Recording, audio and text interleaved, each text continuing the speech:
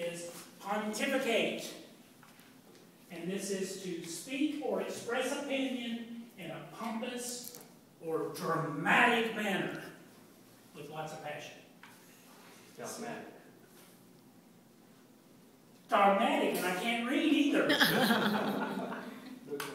Okay, uh, since we don't really have a grammarian, I don't guess anybody's really gonna be doing what we normally do, but I'm gonna explain so that everybody just knows what a grammarian does.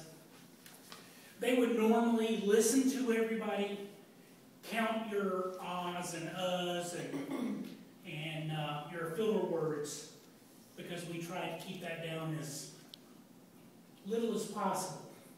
And the reason is because filler words can get in the way of your message. And we wouldn't want that as Toastmasters, would we?